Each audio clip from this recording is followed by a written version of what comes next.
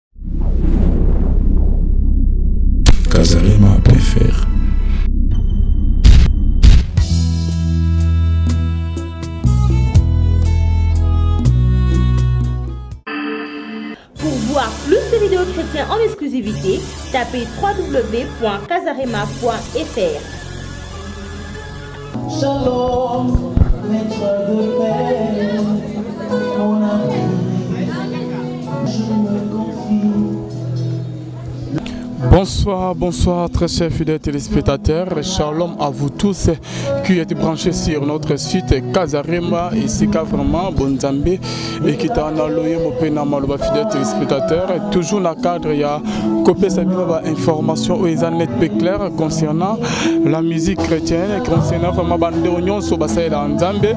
fidèle téléspectateur toye lisusu je crois bien ke bolandaki baimage oyo tolakisa bino na moi ndenge tokenda kozwa ndeko na biso atiki biso na nkomo ya ser mak bulai nde tokenda kozwa ye na morke toye na ye awa na maisha park yo bino moko bomonaki ndenge nini bandeko balelaki en tout cas ndenge nini bandeko mosusu ya bamusicien chrétien bapesaki bapoint de vue na bango fidèle téléspectateur bomonaki ndenge nini tolelaki ser na moi kobana na morke ya mama yembo ti awa eh, wana ezalaki na moi sikoyo awa ah, na butu toza na butu na veye toza awa na butu mpo na komona toujours bandeko oyo baye wana bamusicien kokumisa nzambe tozokumisa nzambe na bagroupe différent groupe ya bafrère na biso frank mulaja bazoyemba toza na butu tozolela toujours ndeko na biso oyo atiki biso na nkombo ya marte bulai artiste musicien chrétien oyo atiki biso oyo ayemba mpe ayema na gael oyo eza dirige na frère na biso alain moloto ndeko atiki biso elle nous a quitté accueilli je crois bien que nzambe ayebi pourquoi azwi ndeko na biso en tout cas que son âme repose en paix ndeko na biso aza wana cercueil ya kolala ah, toza na butu tozo Continue toujours kolela ndeko na biso mpe kokumisa nzambe na bacirconstance tout nde bible ezosenga biso tozokumisa nzambe tozoyemela nzambe na bamusicien chrétien mpe baza awa fidèle téléspectateur merci na baoyo oh, nyonso tout bazolanda émission na biso de près bazokomela biso baoyo oh, tout en tout cas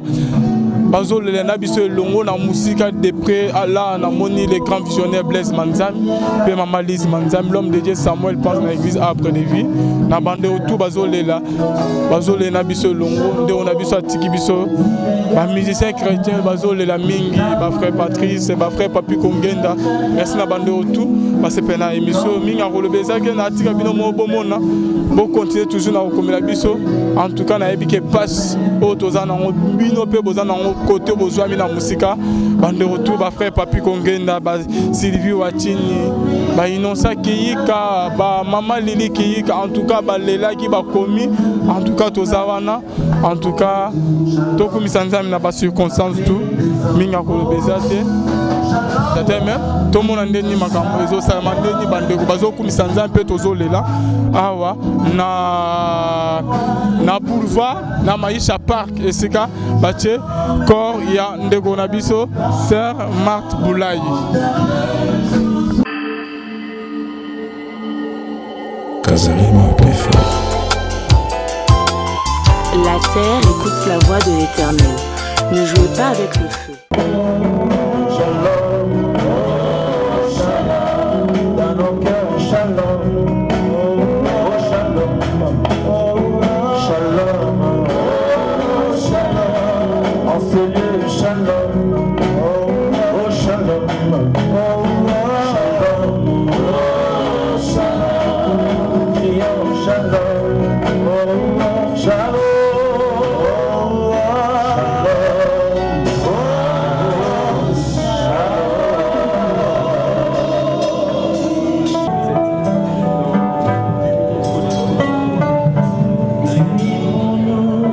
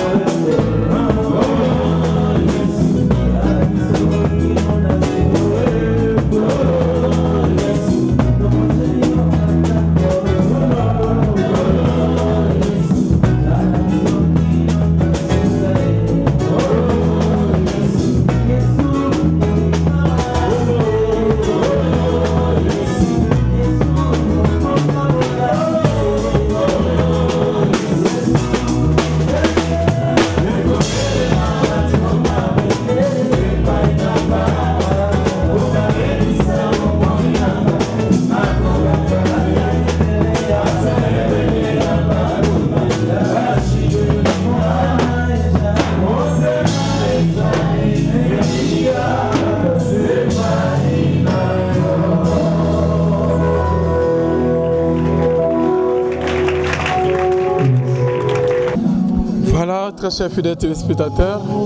bandeko nyonso bozola na biso ensenet moment tokomi presque euh, tozokende vraiment na ntongo donc tokomi presque kosilisa kutu na biso en tout cas bandeko toujours bazoyemba kala mingi te na tongo lelo na journal lelo eh, lelo toza déjà vendredi conseil toza vendredi kala mingi te bandeko topanza tozonga bandako mpona kose préparer mpona kokende kotika ndeko na biso na cimetière en tout cas bamisusu déjà bazozonga bazokende kose préparer bakozonga lisusu boye mpona koya kokende cimetière très chef d'être spectateur mingi ya koloba eza te réellement c'est la sœur marthe oyo ke aza na cercueil wana oyo alali wana eza vraiment sœur marthe bulai oyo ya groupe gael oyo atiki biso en tout cas liwa eza liwa te tokokutana un jour biso mpo na bachrétien eza juste repos moko oyo ke tozwaka topemi un jour tokokutana toujours parce que tokufi tokufaka kati na nkolo neti sere na biso akufi kati na nkolo un jour akosekwa tokokutana vraiment ndenge ya koloba eza te en tout cas ndeko atiki biso c'est vraiment la sœur Marthe Moulayi oyo aza na cercueil oyo alali wana eza vraiment ye en tout cas atiki biso atufi vraiment trop jeune que la volonté de Dieu soit faite mingi akoloba eza te eza kaka ye tozo vivre eza grâce na ye tokumisaka nzambe fidèle téléspectateur toza vraiment na mawa en tout cas euh, tobandaki kokanisa te ke la sœur akoki kotika biso vraiment kokende kaka boye na maladi oyo abelaki bafièvre ya pamba akufi kaka boye akei en tout cas etouche biso makasi etrouble mpe tout le monde na disparition na ye que son âme repose en paix mingi akoloba eza te mai totutana tout à l'heure nde bokomona mpe nde tozwa corps ndenge vraiment tokosilisa tokosala prière mpe ndenge tokokende ntina na cimetière bomona tulu kala mingi te tout à l'heure merci na bandeko tu bakomela biso na mosika bazosoutenir biso vraiment na mosika mpe na pemene merci na bandeko tu baza partout dans le monde bazolanda biso à travers kasarema merci na le grand visionnaire blaise mantami merci na innocent kiika mama lili kiika frère papi kongenda na bamusicien chrétien tu bazolela moninga na bango ya kufi c'est amat boulai en tout cas merci merci vraiment na bino tout bozolanda biso toujours boza branche na casarema en tout cas natiki bino pour un moment nous voir tout à l'heure mpona kocontinue toujours euh, kolela sere na biso mpe okoki kotika ti na cimetière en tout cas merci beaucoup na bino nyonso tout bolanda biso en tout cas tokutana tout à l'heure tozocontinue toujours mingi akoloba eza te que Dieu soit loué, Zama Komisama, Nandenge vraiment.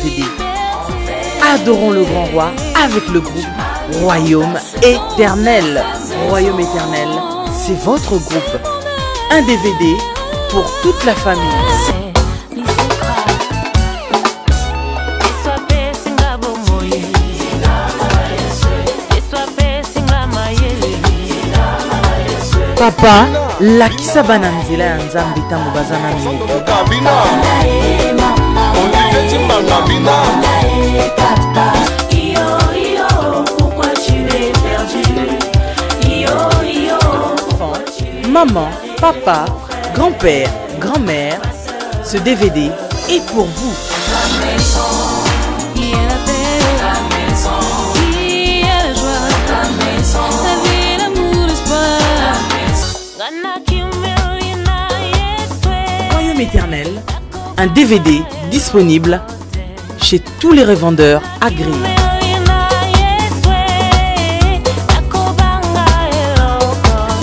Laissez venir à moi les petits enfants, car le royaume des cieux leur ressemble. Adorons le grand roi Ponalibota Mobile.